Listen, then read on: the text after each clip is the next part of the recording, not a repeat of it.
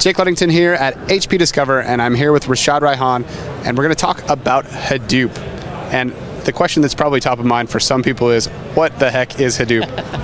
yeah, um, it, it's great. It's it's uh, in in one sentence, what what Hadoop is is essentially a open source framework to analyze any type of data at scale. So there's three keywords in that statement, right? Open source.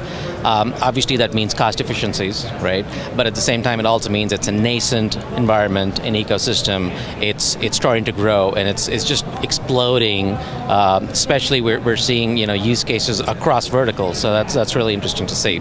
Um, the the second keyword is any type of data. I think that's really the value out of Hadoop. The, the point that you're able to take any type of unstructured data. Think of videos or music or text or you know website data, um, and you're also able to take structured data, typically something you'd put into a database or a data warehouse, and you're able to kind of you know develop a, a, data sink. Some people use that word data sink.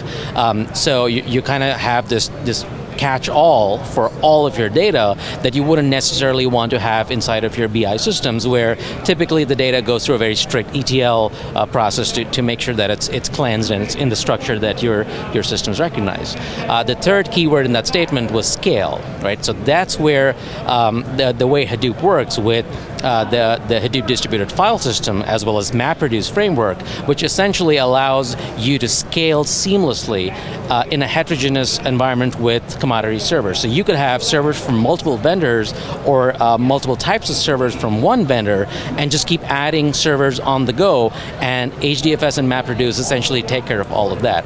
So essentially it's a uh, it's an analytics platform.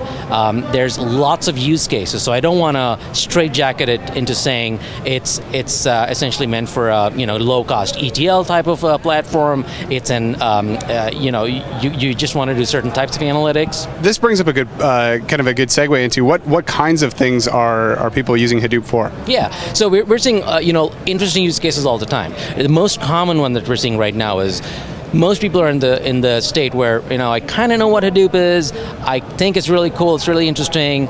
Um, I, I want to start off with a little pilot project, um, and then we'll see where this goes. Um, most people are using it for again low cost ETL type of processing, which essentially means I want to be able to ingest all this data that's coming into my organization, whether it's social media, whether it's clickstream data, for instance, um, whether it's uh, different types of unstructured data, and I want to see how all of this unstructured data kind of works together. Think about fraud detection, think about uh, risk modeling in the financial sector, for instance, right? Um, and, and then I don't want to load up all of this data because big data by nature is large. The three V's as we have talked about before, right? So the, it, it's it's large. A lot of times it, it can tend to be sparse as as well, and it's it's unstructured, uh, uh, you know, uh, and therefore you don't want to load it as is into your warehouses. So you need this kind of ETL platform, extract, transform, load platform, where you're refining the data before you actually suck it up into your your warehousing. So that's kind of the I would say the most uh, mainstream use case that we're seeing Hadoop for. But we're also seeing a lot of people uh, run analytics right on top of Hadoop. There's a whole ecosystem. You know, you have a Hive and HBase, and uh, there's a whole zoo of animals um, around around the, the core Hadoop system that essentially makes this much more usable um, to developers today. So for instance, you've got um, folks that are developing SQL interfaces where you can run SQL queries right into Hadoop, right? So something that you're used to uh, working with, and you can use uh, you know technologies that you're not used to. So what kind of pain points are there in this this whole Hadoop world? Yeah, it's kind of interesting. So, kind of going back to you know when I define Hadoop about you know it's it's it's nascent, it's it's open source, it's mainly being fueled. Um, so far mainly by you know technology enthusiasts and startups, right? Um, and, and there's there's there's I think 2012 is kind of the inflection point where we're going to see a lot more mainstream adoption. Now the growth is great it's good news and bad news because uh, it's it's bad news because the skills really haven't kept pace with um, the growth of Hadoop. So there's a lot of organizations going, I need Hadoop people, I just don't know where to find them. Hadoop expertise is, is, is scarce. Um, and when I say Hadoop expertise, I mean people who know how to run uh, and write MapReduce jobs for Hadoop, and also people who can do the platform engineering to figure out what kinds of uh, decisions do I need to take at an infrastructure level to make sure that I'm running it on a balanced uh, system that can scale easily, that meets the, needs of all the users that are using my um, Hadoop cluster. So there's pain points around both the kind of the Hadoop platform uh, layer as well as the infrastructure layer. That kind of speaks to, though, um, I'm going to get a, just a little bit off track, but that kind of speaks to the idea that um, really there aren't that many people out there who have worked with really big data problems to date. Exactly, and, and it's kind of interesting. I'm, I'm, seeing new roles appear every day. There's, you know, data data science is such a burgeoning um, field, and, and there's there's new roles even within uh, data science. So you're right, um, and and that's the goal um, of the solutions that, that we're offering, essentially to let the data scientists worry about the data because there's enough uh, enough of a, um, uh, I'd say a, a problem area where you need expertise just just focused on the on the data layer and let us worry about the platform layer, right? So uh, there's there's certainly pain points in, in the data data area as well, uh, but the pain points that we're um, you know going after essentially are you know we want to be able to help customers deploy um, Hadoop clusters quickly um, and you know with a low cost of acquisition, but also to be able to scale and, and kind of evolve as their demands uh, grow. So what else do you want people to know about Hadoop?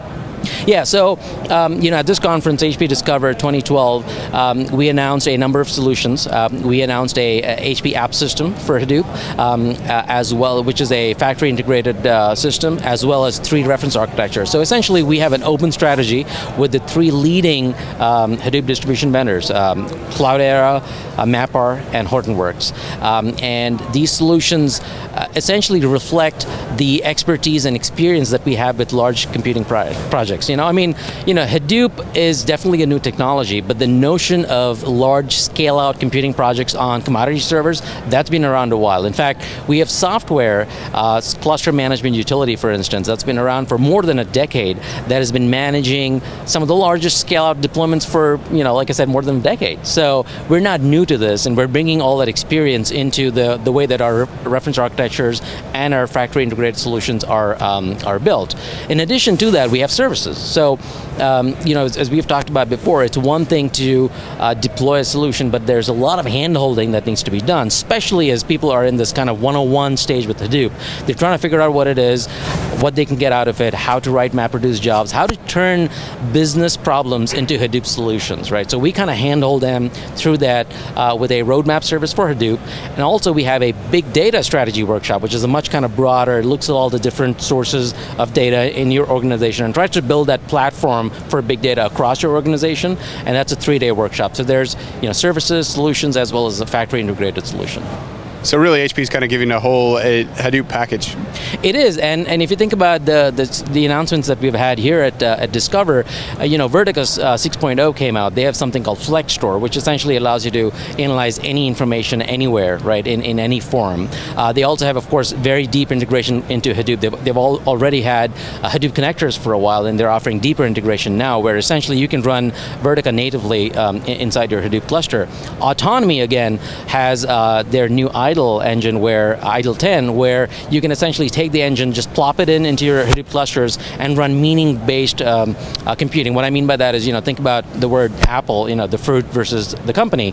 That's sort of a, a, a you know computation you can do uh, inside of hadoop as well. So um, you know autonomy also announced uh, their Optimost clickstream analytics. So that's kind of focused on one use case uh, in this whole area. So again you know we're all about building a big data platform across the enterprise that takes care of unstructured data, structured data that allows you to, uh, to manage, and understand, and act on 100% of your data. And HP really is the only vendor that's able to do that today. All right, well, thanks, Irshad. Thanks, Jake.